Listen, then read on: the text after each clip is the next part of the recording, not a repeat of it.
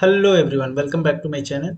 Today we are going to expose MFE app project not as as a whole but only this to-do list module.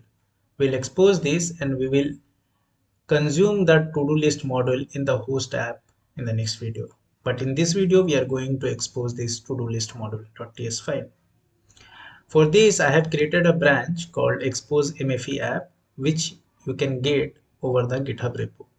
The link of the repo you can find in the description of this video.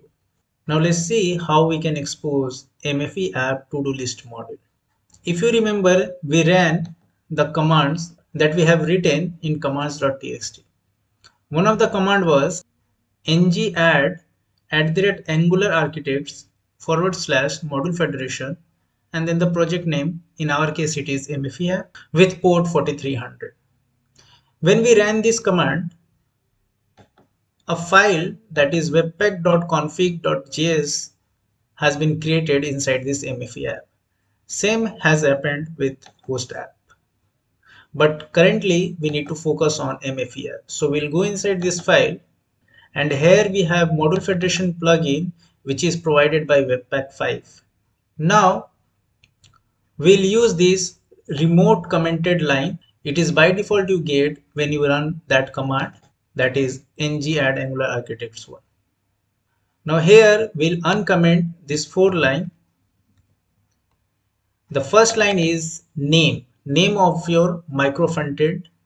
So here we can give to do app, but here since our project name is MFE app, the default name is MFE app. So we'll keep it same. Similarly, there is a file name with which we will expose our modules.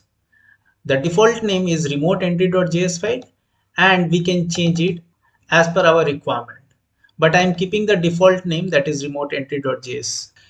Next is exposes object where we can expose multiple modules or components. In our case, we are going to expose module, not a component.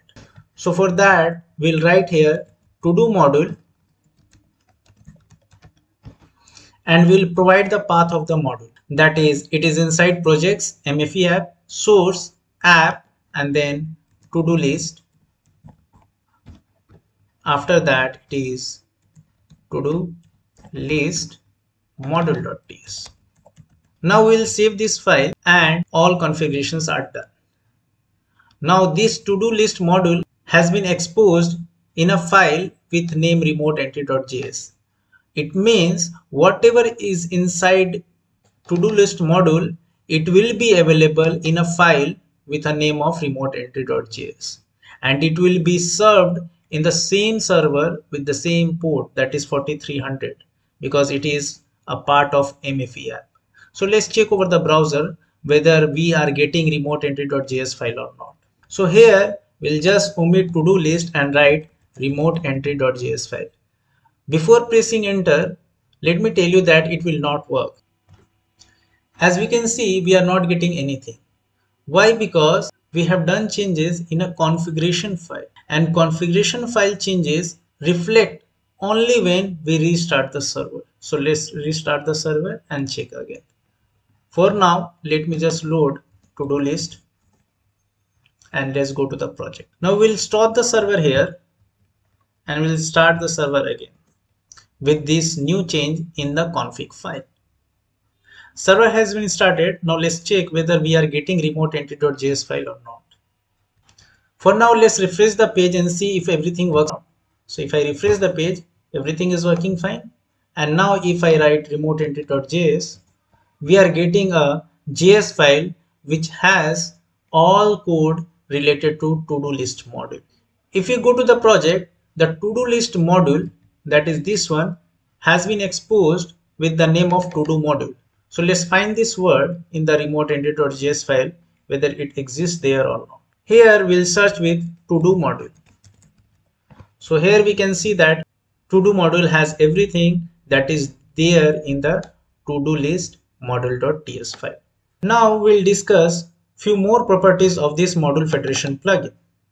Here we can see remotes. Use this remote property in our host app when we will consume this MFE app. So remotes property gets used when we consume MFE from another server.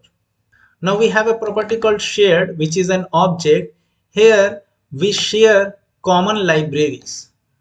Common libraries means in between host app and MFE app in our case since both are in Angular so both have Angular core common common HTTP and router libraries.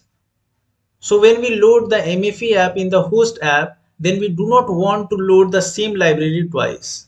And what this shared object does, it creates a single instance of each library that has been mentioned inside shared object. So if there are common libraries in between MFE and host, you can mention them inside shared object to create a single instance of those libraries. This is it for this video. I'll push the code in the branch expose MFE app and you will get the latest code in the master branch always. If you find this video benefited, please share with your friends so that they will also get benefited. And do not forget to like this video. It motivates me to provide you the quality content. Also provide your feedback in the comment section or any query that you have regarding this video. I would love to help on your queries. Now let's meet in the next video. Till that, be happy, take care, signing off.